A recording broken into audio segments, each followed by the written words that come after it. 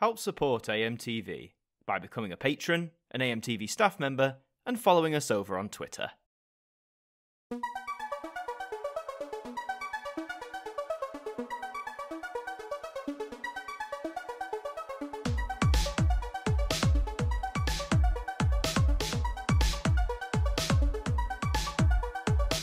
Hello, and welcome to the Ident Review Extra, the spin off show that takes a look at one individual ident each episode and gives it the review it deserves. And this time around, we're embarking on a journey through the rhythm and movement idents that represented BBC One between 2002 and 2006.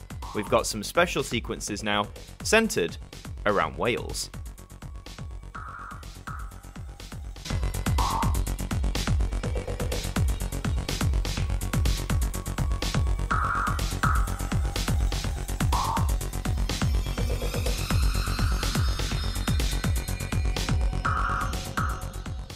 Throughout our journey so far, I've showcased to you all of the main sequences that comprise rhythm and movement during its short lifespan. However, there were relatively few special idents aside from the festive favourites that appeared during the four years of this era for BBC One. We've seen special Christmas idents, of course, but you could have always assumed they were a given, since they'd been a long standing tradition for decades. However, there are two variants that only were shown in the region of Wales. Being a half Welshie myself, I'm excited to get into these. So let's begin with our first one, which I'll unofficially title Victory.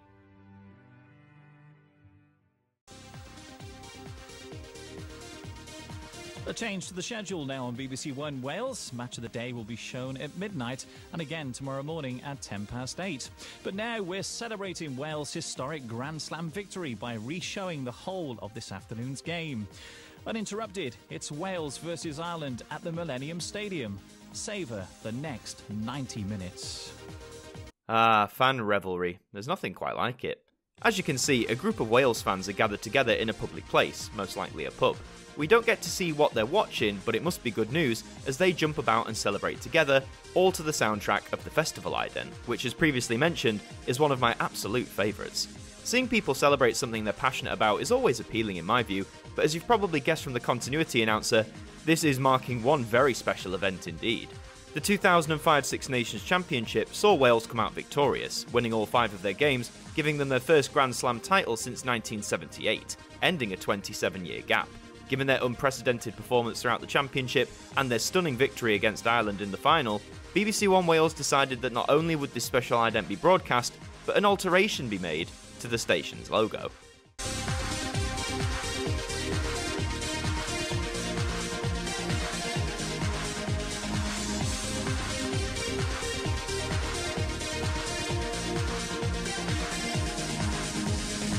If you look in the bottom left corner, you'll see the familiar red BBC One box. However, the one has been cleverly changed to 1, marking the historic victory for the Welsh. The victory ident was shown on the same day the team were crowned the winners, on the 19th of March 2005. The final game was repeated, and still remains one of the proudest moments of Welsh sport in recent memory. It's great to see as well that it's not just men in the picture, but women are here too, showcasing as many of the rhythm and movement idents do, that sport can be and should be for everyone. But amazingly, this wasn't the only ident to mark the special occasion. A second variant appeared also. This one I'll simply title Flag.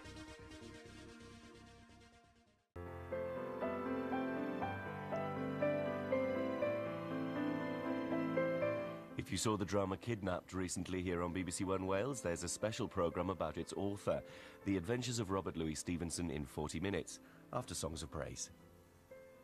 Best flag in the UK, always has been.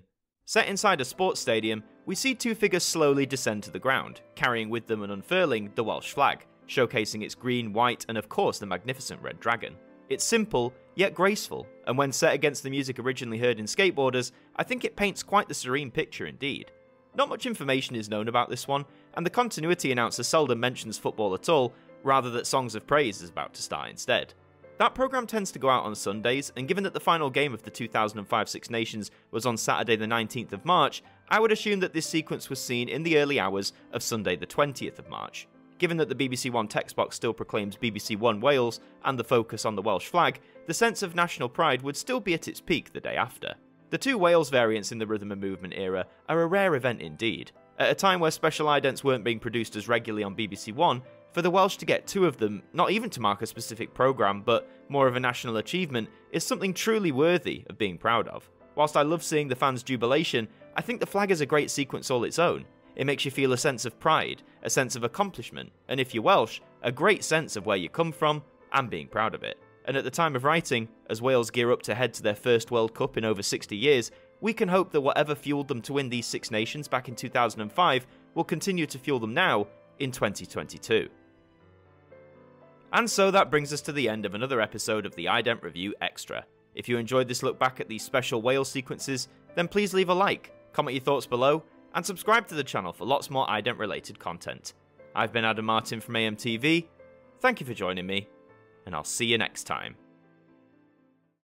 Thank you to our patrons for helping to support the show, and a special thank you to Macra, Hux Media, Ben Freeman, Ethan Carberry Holt, Bruce Danton, The Broken Kitsumanoid, and Francine Salazar, our AMTV staff members.